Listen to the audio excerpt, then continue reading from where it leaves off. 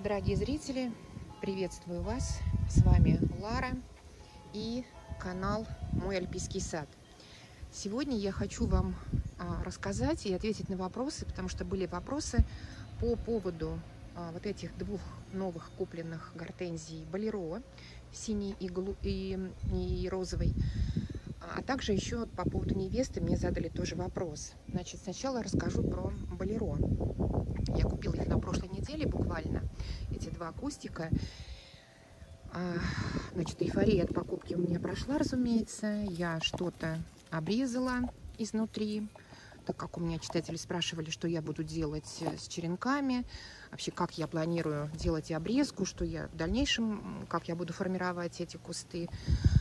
Вот я для начала решила, что я длинные, естественно, побеги буду оставлять, потому что присмотревшись к э, тем побегам, которые цветут, да, вот более, более взрослым побегам, вот они темные побеги, можно увидеть, что из пазух, сейчас я фокус поймаю, из пазух начали появляться бутончики. Сейчас еще найду, где-то я прям видела, прям бутончики, бутончики из пазух вылезали, вот на таких вот уже взрослых. Вот, секунду. Вот здесь прям хорошо видно, что вот тут бутончик лезет из пазухи. Это кусты темные, из чего я сделала вывод, что это кусты прошлого года. То есть они цвели в этом году. Вот цветение розового болеро еще один такой темный, темная ветка. На ней тоже есть цветение. Из пазух, я так думаю, предположительно, тоже полезли бы еще и дальше, если бы не наши, а, не наша наступ, наступающая зима и холода. А вот такие приросты, это приросты, скорее всего, этого года. Они светлые, у них только внизу немножко они начинают темнеть. Вы видите у основания они еще не цвели. И разумеется, что мне их жалко черенковать, хотя зеленые черенки укореняются значительно проще. А, но мне их черенковать не хочется, мне хочется их оставить и, и посмотреть, как они будут себя вести на будущий год, как они будут цвести на будущий год. Ну, по возможности, разумеется, потому что зимовка у меня будет а, в прохладном помещении, непромерзаемом. Пока я решила растить оба эти сорта, ну и сбежавшую невесту тоже как контейнерные, забирая на зиму в холодный гараж. Он у нас не отапливается. Я живу в Европе, и у нас не бывает очень сильных морозов. Но если морозы бывают, то не бывает снега.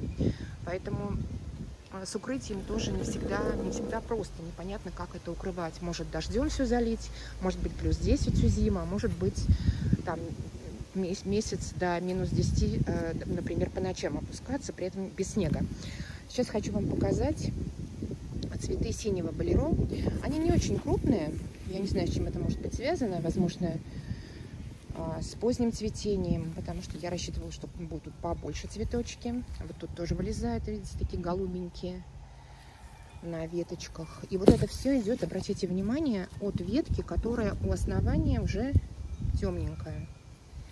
Я надеюсь, что камера не очень сильно а, туда-сюда гуляет, и вы понимаете, о, тем, о чем идет речь. А цветы, которые отцвели немного раньше, они уже начали менять цвет. Видите, посмотрите, они стали такие более зелено-розовые приобретать оттенок. То есть практически, сейчас я обойду кусты, они у меня стоят на, стол, на столе. Я специально поставила их, чтобы снять вам показать со всех сторон. То есть фактически одинаковое цветение по, по окончании. Вот это розовое, а вот это голубая. Сейчас попробую взять одновременно одной рукой. Опс, две ветки. И вы сравните. Вот. В общем-то не отличишь розовый от голубой. Да, у меня есть квасцы, я буду, конечно, подсинять синенькую, чтобы она была синей в конце концов. А, ну, а измена цвета, перемена цвета, я думаю, это связано с тем, что на улице стало прохладнее, потому что, например, а, вот эти две макрофилы, я не знаю, какие сорта, у нас их редко подписывают, я покупала синими-синими. Вот буквально синие они были все, они были значительно синее, чем вот э, этот цветок.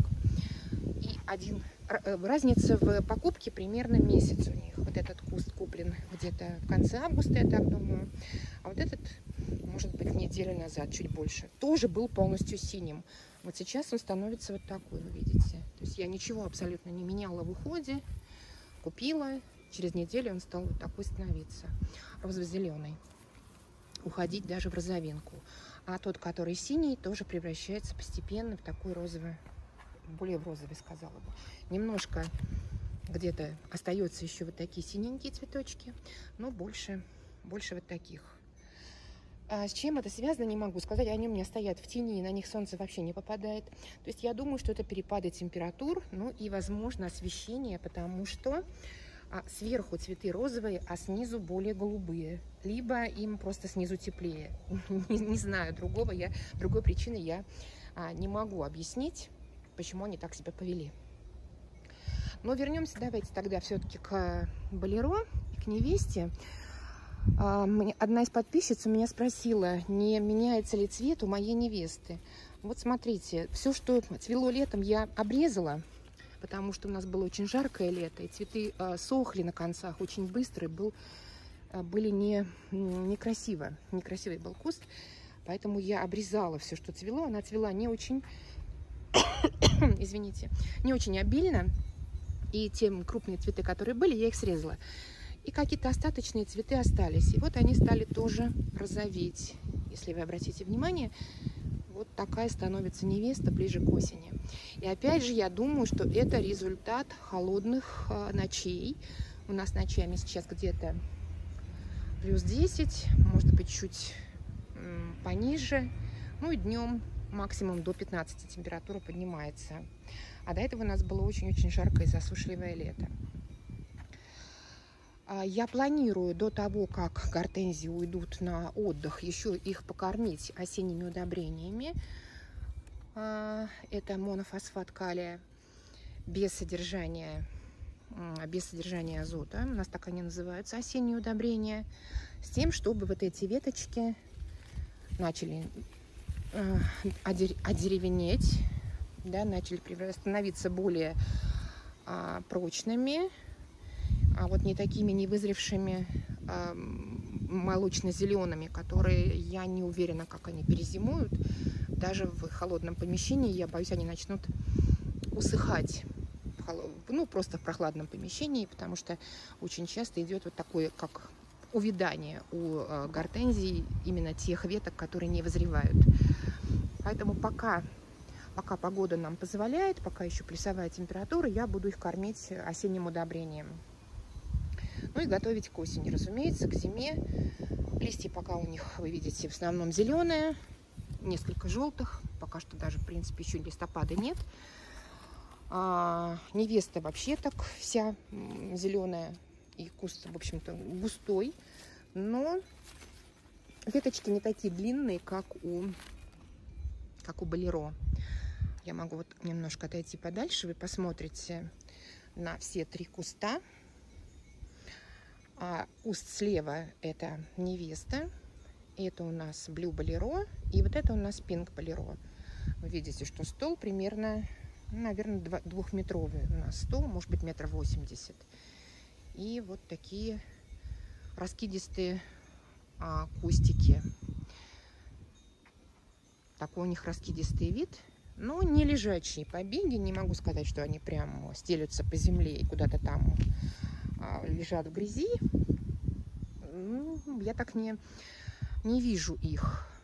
Увидим, как дальше это все будет формироваться, как они будут дальше себя вести, будет ли, будут ли они паникать в конце концов, или, или они будут а, вот такими прямо стоячими, как вот эти веточки. Мне пока сложно сказать, у меня эти гортензии первый а, сезон, но я буду вас обязательно держать, информировать вас как эти веточки, кустики будут себя вести, как они будут у меня зимовать.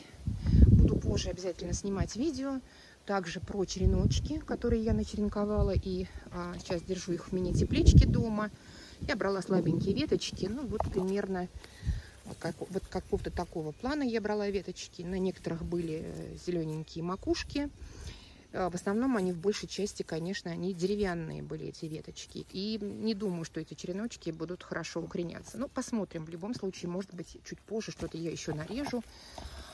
Если мне рука поднимется, потому что резать, конечно, все, ну не все, а что-то все равно жалко, когда хочется для себя это оставить, поскольку я не занимаюсь разведением профессионально. Многие специалисты а, рассказывают о разведении. Они занимаются этим разведением на продажу. А, я не занимаюсь в этом плане профессионально, если только меня кто-то просит из знакомых или друзей или близких кого-то. Ну или для себя я делаю какие-то дубликаты. Поэтому маточники я планирую все сберечь по максимуму, не обрезать.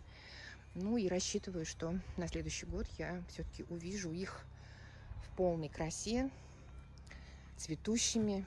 И обязательно, конечно же, покажу вам, мои дорогие друзья. Ну а на сегодня я с вами прощаюсь и до новых встреч. Всего вам доброго.